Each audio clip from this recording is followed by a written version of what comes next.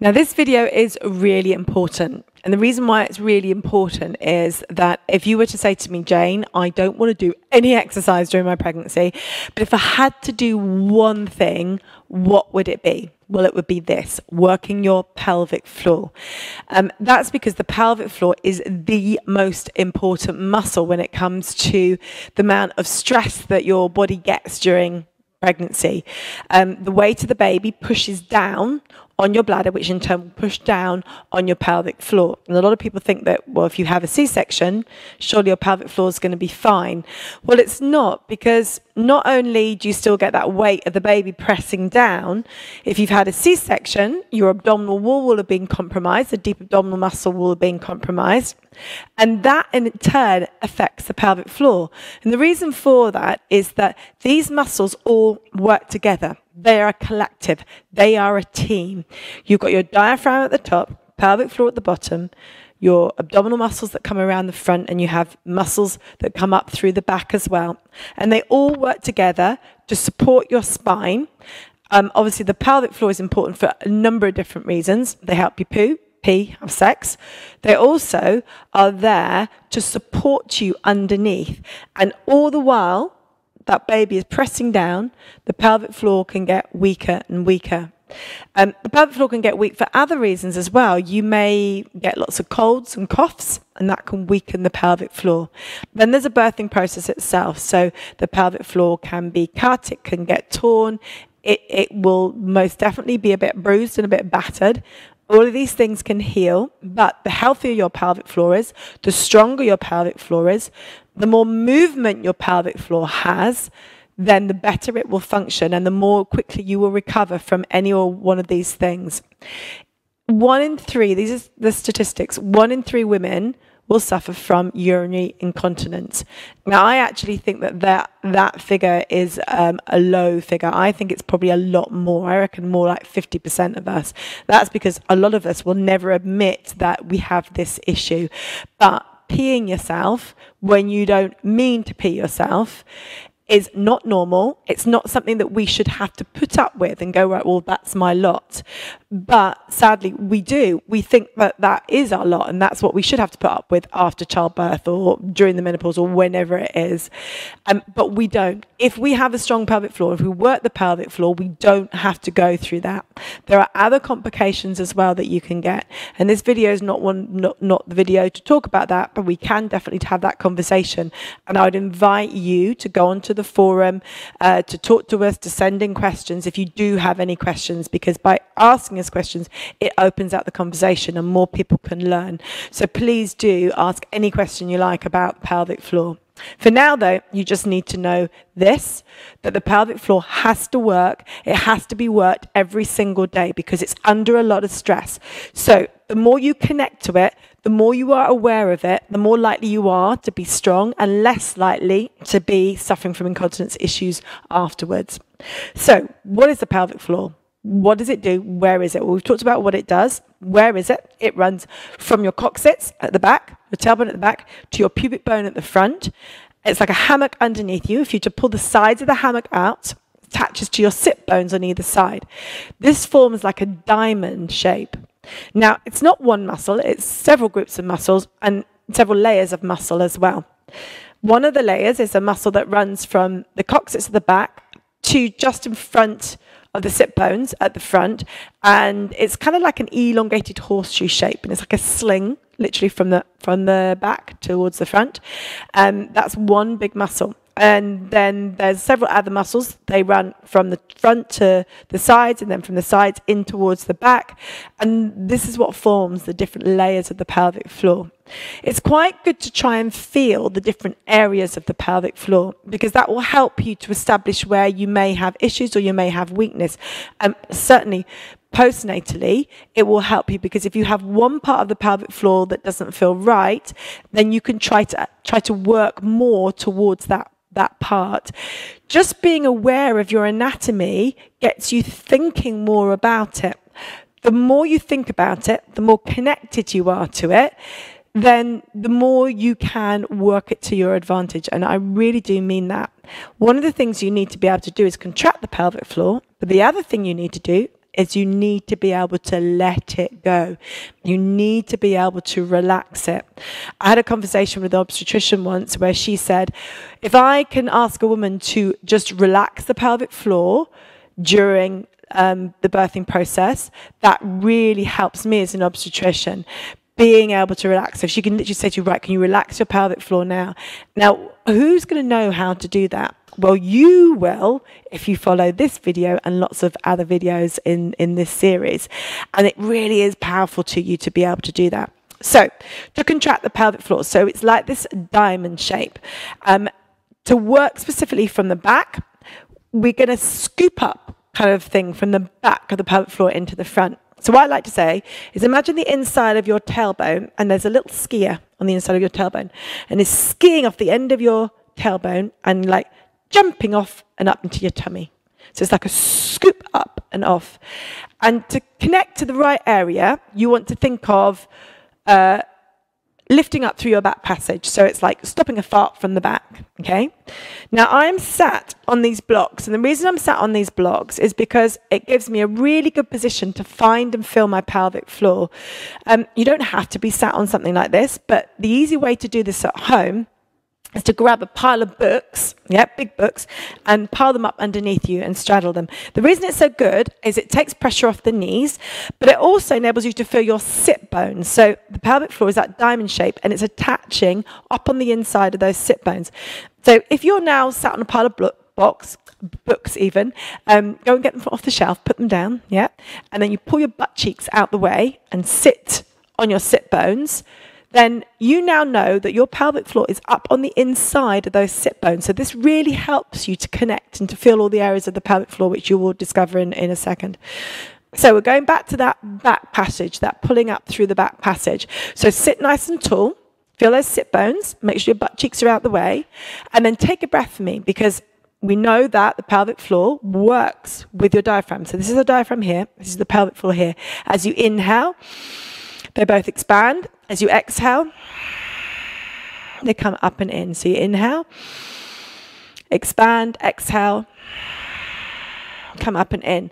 So you work the pelvic floor up and draw it up and in when you exhale.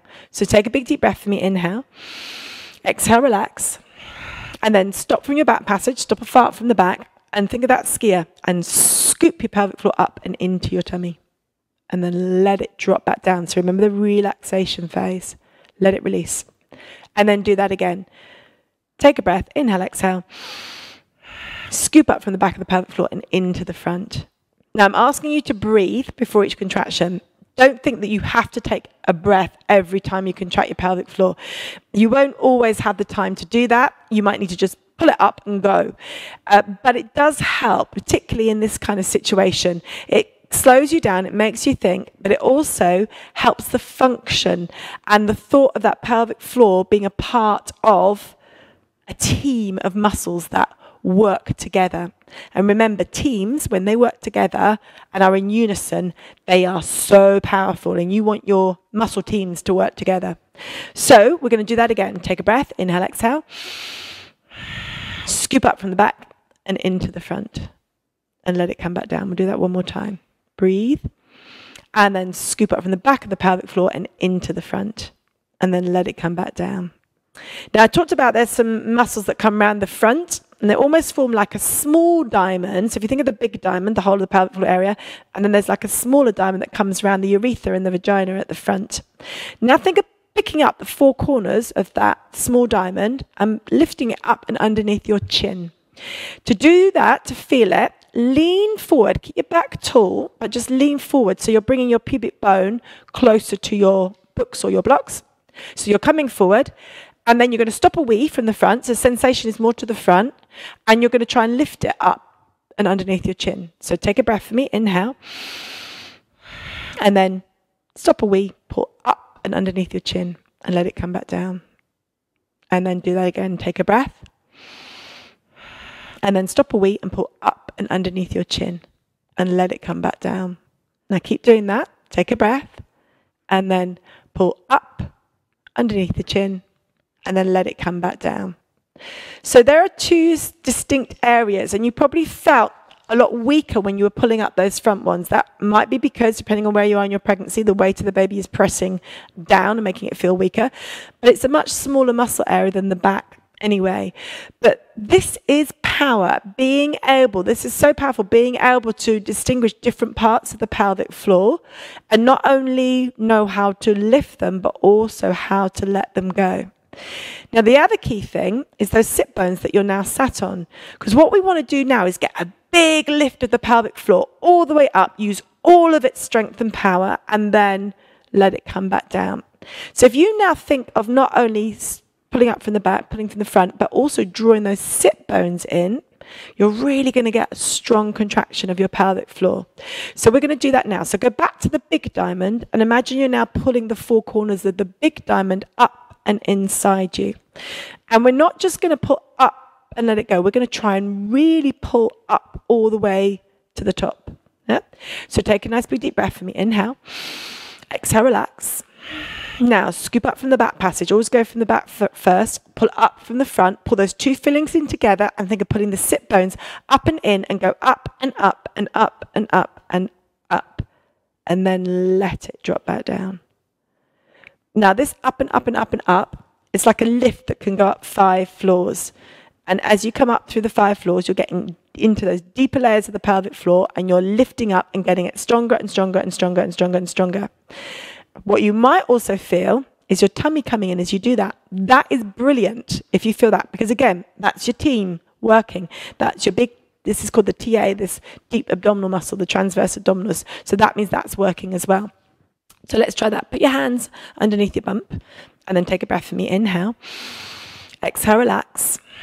And then stop a fart from the back, stop a wee from the front. So scoop it, suction in, pull the sit bones in and come up and up and up. You might just keep breathing and up and up all the way to the top and then let it come back down. Now, how many floors can you get up to? So let's do that again. Breathe. Scoop up from the back. Draw in from the front, pull the sit bones in and come up and up. That's two and up. That's three and up. Can you get there? That's four and all the way to the top five. High as you can go. Can you hold it up there? And then let it come back down.